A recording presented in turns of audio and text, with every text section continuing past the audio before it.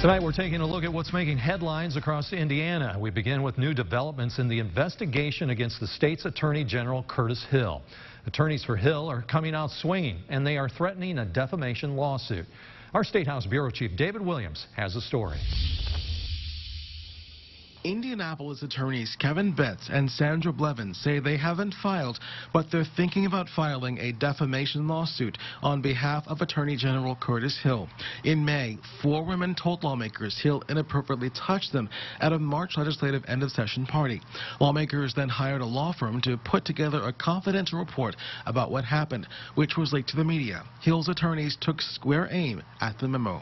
This defamation is against the unknown individuals who included this false and malicious information and who released this false and malicious information. Hill's attorneys call on lawmakers to do three things. Correct the memo that contains, quote, false and malicious information, find out who included the info in that memo, and reveal who leaked this false and malicious information. In recent weeks, three of the four women have come forward publicly.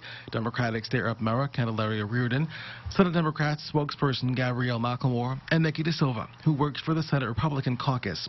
Today, Blevins claimed there are inaccuracies in the women's statements. The memo states that Attorney General Hill placed his hand under Representative Reardon's clothes twice, and she specifically denies this in her personal statement.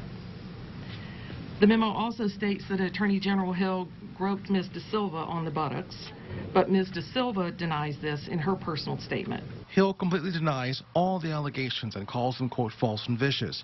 The Office of the Inspector General has already started her own investigation into the allegations, but Hill's attorneys wouldn't talk about that this morning. At the State House with local news that matters, David Williams, WTWO.